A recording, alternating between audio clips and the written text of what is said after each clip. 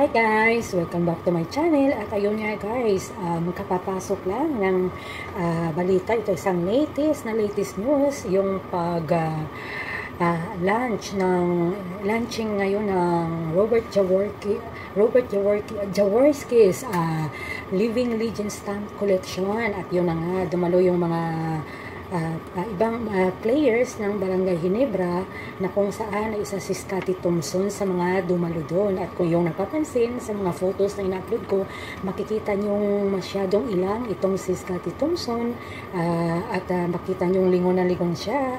At uh, syempre natatakot siya siguro o talagang hindi siya komportable na baka may mga hater siya nandun.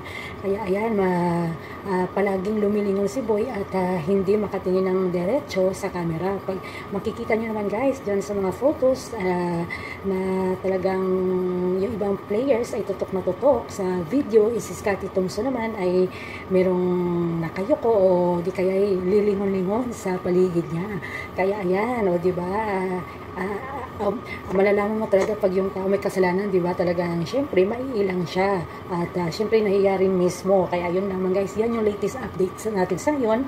Uh, hanggang sa muli, thank you for watching. Keep safe. Bye!